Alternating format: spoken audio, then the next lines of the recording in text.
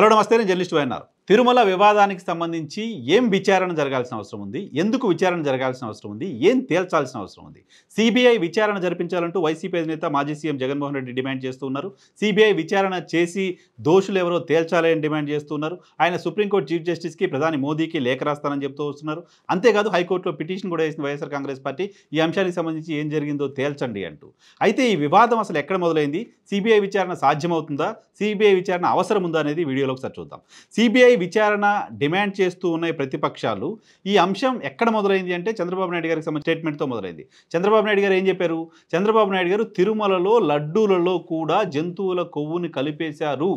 కలిపేశారు అని మాట్లాడారు. అంటే తిరుమలలో శ్రీవారికి సంబంధించిన లడ్డూలలో జంతువుల కొవ్వు కలిపేశారు. కలిపి లడ్డూలు తయారు చేశారు. అవి భక్తులు తినేశారు అనేది చంద్రబాబు నాయుడు గారికి సంబంధించిన ఇంటెన్షన్గా కనపడింది. ఆయన మాటలను బట్టి చూస్తే కలిపేశారు అన్నారు కాబట్టి అది కలిసింది అనేది. సో ఆ తర్వాత ఎల ఈవో టీటీడీ ఈవోగా ఉన్న శ్యామలరావు గారు చెప్పిన ప్రెస్ కాన్ఫరెన్స్లో మనకు అర్థమైంది. ఆయన చెప్పింది ఏంటంటే నాలుగు ట్యాంకర్లు రిజెక్ట్ అయ్యాయి.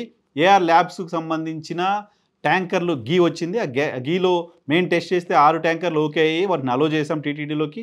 నాలుగు ట్యాంకర్ల గీ పైన అబ్జెక్షన్స్ వచ్చాయి టీటీడీ టెస్ట్లో. దాని మేరకు ఆ నాలుగు ట్యాంకర్లకు సంబంధించిన గీని మేము ఎన్డీడీఏకి టెస్ట్కి పంపించాం. అక్కడ టెస్ట్లో రిపోర్ట్స్ వచ్చాయి. సో ఆ రిపోర్ట్ల ప్రకారం మేము నాలుగు రిజెక్ట్ చేసిన వాటిలోనే జంతువుల కొవ్వుకు సంబంధించిన అవశేషాలు ఉండొచ్చు అని చెప్పింది. ఉంది అనేది ఎక్కడ లేదు. ఉండొచ్చు. అని మాత్రమే చెప్పింది.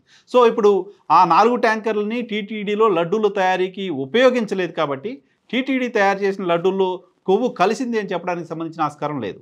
ఈ నాలుగు ట్యాంకర్లు మాత్రమే కాదు గతంలో కూడా గత ప్రభుత్వంలో దాదాపు పద్దెనిమిది ట్యాంకర్ల నెయ్యిని వివిధ ఏజెన్సీలు సప్లై చేసిన నెయ్యిని రిజెక్ట్ చేశారు. బట్ ఆ రిజెక్ట్ చేసిన నెయ్యిని మళ్ళీ ఇంకా టెస్టులకు పంపించాల. అంటే అవసరమే లేదు అని మేమే రిజెక్ట్ చేసినప్పుడు అది బాగాలేదని మేము రిజెక్ట్ చేసినప్పుడు దాన్ని మళ్ళీ టెస్ట్ చేయించాల్సిన అవసరం లేదు అని అప్పుడు పాలక మండలి భావించింది. గతంలో చంద్రబాబు నాయుడు గారు ముఖ్యమంత్రిగా ఉన్న తర్వాత జగన్మోహన్ రెడ్డి గారు ముఖ్యమంత్రిగా ఉన్న.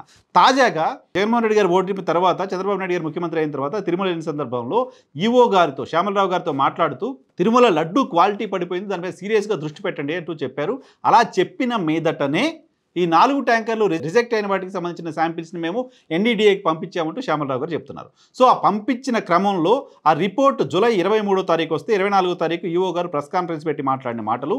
సో అడల్ట్రేషన్ జరిగింది. అడల్ట్రేషన్లో దానిలో కలిసింది ఏంటి అంటే వెజిటేబుల్కి సంబంధించిన ఫ్యాట్ కలిసినట్లుగా మాకు నిర్ధారణ అయింది అని నేరుగా ఈవో గారు చెప్పారు. సో ఈవో అక్కడ వెజిటేబుల్ ఫ్యాట్ కలిసింది అని చెప్పిన తర్వాత ఇక్కడ యానిమల్ ఫ్యాట్ కలిసింది అనే దానికి సంబంధించిన చర్చ ఇంకా లేదు. జూలై ఇరవై మూడు జరిగింది. జూలై ఇరవై మూడున రిపోర్ట్ వచ్చింది. సో జూలై ఇరవై నాలుగున ఈవో గారు చెప్పారు.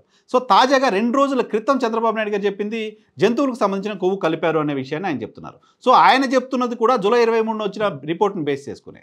సో జూలై ఇరవై మూడున వచ్చిన రిపోర్ట్ని మీడియాకు ఒక రకంగా చెప్పిన శ్యామలరావు గారు చంద్రబాబు నాయుడు గారికి ఇంకో రకంగా చెప్పారా? సో చంద్రబాబు నాయుడు గారు ఈ ప్రకటన తర్వాత ఇవో మళ్ళీ ప్రెస్ కాన్ఫరెన్స్ పెట్టారు. ప్రెస్ కాన్ఫరెన్స్ పెట్టి ఆయన చెప్పిన మాట ఏంటి అంటే ఆ రోజుకి జూలై ఇరవై నాలుగుకి నేను ప్రెస్ కాన్ఫరెన్స్ పెట్టిన నాటికి నాకు ఉన్న నాలెడ్జ్ ప్రకారమే చెప్పాను. నేను పెద్ద ఎక్స్పర్టైజ్ కాదు దాంతో. కాబట్టి ఇప్పుడు నాకు అర్థమవుతుంది. ఇప్పుడు రిపోర్ట్ అంతా కూడా తరువుగా చూస్తే ఎక్స్పర్ట్స్తో మాట్లాడిన తర్వాత నాకు తెలుస్తుంది. దీనిలో జంతువులకు సంబంధించిన ఫ్యాట్ని కూడా కలిపి ఉండొచ్చు కలిపి ఉండడానికి సంబంధించిన ఆస్కారం ఉందని. అడల్ట్రేషన్ జరిగిన దాంట్లో ఎనిమల్ ఫ్యాట్ కలిపి ఉండడానికి సంబంధించిన ఆస్కారం ఉందని. మేజుకు సంబంధించిన ఫ్యాట్ కలిపి ఉండడానికి సంబంధించిన ఆస్కారం ఉందని. ఇతర జంతువులకు సంబంధించిన ఫ్యాట్ కలిపి కలిగి ఉండడానికి సంబంధించిన ఆస్కారం ఉంది అని మాత్రం చెప్పింది తప్ప కేవలం పంది కొవ్వో ఇంకేదో కొవ్వో దీంట్లో గొడ్డు కొవ్వో కలిపారు అనేది కన్ఫర్మేషన్ ఎన్డీడీఏ కూడా ఇవ్వలేదనే విషయాన్ని ఈవో చెప్తున్నారు. సో ఇక్కడ ఆ పర్టికులర్ కొవ్వు కలిసింది టీటీడీ లడ్డూలు తయారు చేసిన లడ్డూల్లో ఆ నెయ్యిని వాడారు అనే కన్ఫర్మేషన్ మనకి ఎక్కడ కనపడట్లా. కనపడట్లేదు కాబట్టి అసలు దీనిపైన విచారణ చేయాల్సిన అవసరం లేదా లేదా అంటే తెలుగుదేశం పార్టీ ప్రభుత్వం కన్ఫామ్గా చెప్తోంది వైసీపీ అధికారంలో ఉన్న సమయంలో తక్కువ ధరకు నెయ్యి కొనుగోలు చేశారు. ఆ రెగ్యులర్గా సప్లై చేసే నందిని డైరీ నుంచి కాకుండా వేరే డైరీ నుంచి తీసుకొచ్చారు. తీసుకొచ్చారంటేనే వీళ్ళు ఇటువంటి కలపడమే లక్ష్యంగా తీసుకొచ్చారనే అనే అనుమానం కలుగుతోంది అనేది తెలుగుదేశం పార్టీ చెప్తోంది. సో తెలుగుదేశం పార్టీ చెప్తున్న క్రమంలో మేము అలా చేయలేదు విచారణ చేసుకోండి అంటూ వైఎస్ఆర్ కాంగ్రెస్ పార్టీ చెప్తుంది. ఏం విచారణ చేయాలి ఇక్కడ? As per EO statement as per EO statement అసలు అడల్ట్రేషన్ జరిగిన గీని ఎక్కడా మేము వాడలేదు అని చెప్తున్నప్పుడు మళ్ళీ కొత్తగా విచారణ చేసి తే తేల్చేది ఏంటి అనే ప్రశ్న కూడా ఎరేజ్ అవుతుంది. సేమ్ టైం ఇక్కడ విచారణ సిబి మొత్తం దేశవ్యాప్తంగా ప్రపంచవ్యాప్తంగా ఉన్న హిందువుల మనోభావాలకు సంబంధించిన అంశం కాబట్టి దీన్ని సిబిఐ విచారణ ద్వారా తేల్చి ఏమీ జరగలేదనో జరిగిందనో ఒక క్లారిటీ ఇస్తే మాత్రమే ప్రపంచవ్యాప్తంగా ఉన్న హిందువుల మనోభావాలు దెబ్బతిన్న నేపథ్యంలో వాళ్ళంతా కూడా కాస్త కుదుట పడడానికి సంబంధించిన ఆస్కారం ఉంటుంది. ఒక ఒక credible statement from a credible organisation రావాల్సిన అవసరం ఇప్పుడు ఉంది రాజకీయ పార్టీలు ఆంధ్రప్రదేశ్ సంబంధించి ప్రధానంగా బ్లేమ్ గేమ్స్లో ఉన్నాయి. అధికార పార్టీ కావచ్చు ప్రతిపక్ష పార్టీ కావచ్చు వాళ్ళు బురదేశారు మేము దూడ్చుకుంటామని వీళ్ళు బురదేశారు వాళ్ళు దూడ్చుకుంటామని. కానీ హిందూ మనోభా హిందువుల మనోభావాలు శ్రీవారి భక్తులకు సంబంధించిన మనోభావాలు వాళ్ళు నమ్మాలి అంటే ఒక క్రెడిబుల్ ఆర్గనైజేషన్కి సంబంధించిన ఒక రిపోర్టు వాళ్ళు ఏం జరగలేదనో జరిగిందనో ఏం జరిగిందనో తేల్చి చెప్పే ఒక నివేదిక ఖచ్చితంగా అవసరం ఉంది. ఆ నివేదిక సిబిఐ ఎంక్వైరీ కావచ్చు చీఫ్ జస్టిస్లో లేకపోతే సిట్టింగ్ జడ్జితో విచారణ కావచ్చు. ఈ విచారణ జరగాల్సిన అవసరం ఖచ్చితంగా కనపడుతుంది. మొత్తం ఎంటైర్ మెస్ జరిగింది కాబట్టి. అయితే ఈ విచారణ ప్రాసెస్కి ఆంధ్రప్రదేశ్ రాష్ట్ర ప్రభుత్వం ఎందుకో ముందుకు రావట్లేదు.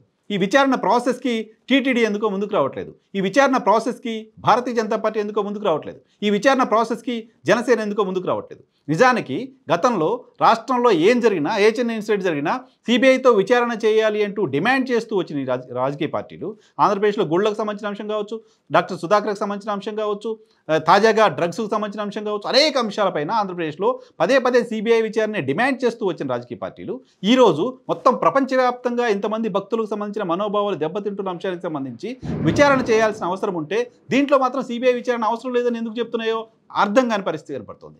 ఎందుకు సిబిఐ విచారణ కూటమికి సంబంధించిన నేతలు మాట్లాడట్లేదు? ఎందుకు సిబిఐ విచారణ జరిపి నిజమేంటో తేల్చే ప్రయత్నం భారతీయ జనతా పార్టీ సర్కారు కేంద్ర ప్రభుత్వం చేయట్లేదు అనేది ఆసక్తి కలిగిస్తుంది. మరోవైపు ఇక్కడ విమర్శలను ఎదుర్కొంటున్న party YSR Congress party CBI విచారణ అడుగుతోంది. ప్రధానమంత్రి మోదీకి లేఖ రాస్తామంటోంది చీఫ్ జస్టిస్కి లేఖ రాస్తామంటోంది సో తప్పు అసలు ఏం జరిగిందో అక్కడ తేల్చాల్సిన అవసరం ఉంది అని వైఎస్ఆర్ కాంగ్రెస్ పార్టీ డిమాండ్ చేస్తూ ఉంటే కూటమికి సంబంధించిన నాయకులు విచారణకు ఎందుకు వెనక్కి పోతున్నారు అనేది అర్థం కాని ప్రశ్నగా ఉంది. NDDA report is enough NDDA report ఇచ్చేసింది. అన్నారు. ఎన్డీఏ రిపోర్ట్ ఇచ్చింది రిజెక్టెడ్ గీకి సంబంధించి కదా. లడ్డూల తయారీకి సంబంధించిన గీకి సంబంధించి ఇవ్వలేదు కదా. ఇప్పటికైనా ఇప్పటికైనా మొత్తం ఏఆర్ ఫుడ్స్ ఎవరైతే గీ సప్లై చేశారో rejected ghee four tankers ghee ఏదైతే సప్లై చేశారో ఆ ఏఆర్ ఫుడ్స్ ఛాలెంజ్ చేస్తోంది. మేము ఎక్కడ ఎలాంటి అలా అడల్ట్రేషన్కి పాల్పడలేదు. మూడు నాలుగు రాష్ట్రాల్లో మాకు సంబంధించిన ప్రొడక్ట్స్ అమ్ముతున్నాం. ఏ రాష్ట్రంలో అయినా మా ఏ చిన్న అవుట్లెట్కి వెళ్ళినా వెళ్ళి మాకు సంబంధించిన ప్రొడక్ట్ ప్యాక్ తీసుకెళ్ళి ఎవరైనా టెస్ట్ చేయించుకోవచ్చు. మేము ఎలాంటి అడల్ట్రేషన్ చేయలేదు అని చెప్తోంది.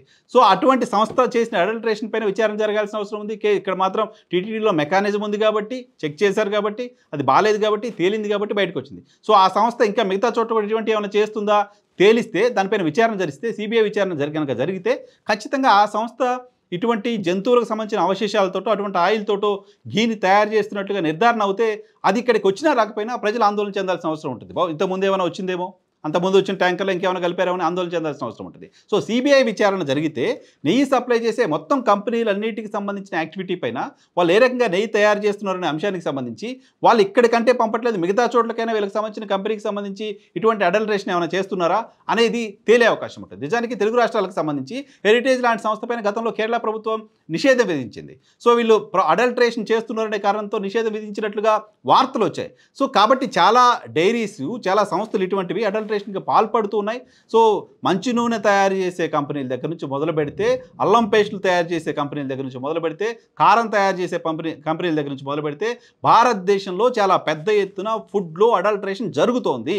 సో శ్రీవారి విషయంలో కూడా జరిగిందా లేదా తేలాలంటే ఇప్పుడు ఇష్యూ బయటకు వచ్చింది కాబట్టి ఆంధ్రప్రదేశ్ సర్కారు ఇనిషియేట్ తీసుకొని సిబిఐ విచారణకు ఆదేశించాల్సిన అవసరం ఉంది. సిబిఐ విచారణ ద్వారా ఈ మొత్తం సంస్థలకు సంబంధించిన భాగవతం బయటపడుతుంది. ఈ మొత్తం సంస్థలు చేసిన అడల్టరేషన్ ఏంటో బయటకు వస్తుంది శ్రీవారి భక్తులకు సంబంధించి వాళ్ళకి అంత కాస్త సాంత్వన చేకూర్చడానికి సంబంధించిన అవకాశం ఉంటుంది. సో కూటమికి సంబంధించిన నేతలు ఖచ్చితంగా సమాధానం చెప్పాలి. ఎందుకు సిబిఐ విచారణ నుంచి పారిపోయే ప్రయత్నం చేస్తున్నారు? ఎందుకు సిబిఐ విచారణకి ముందుకు రావట్లేదు అనే అంశాన్ని?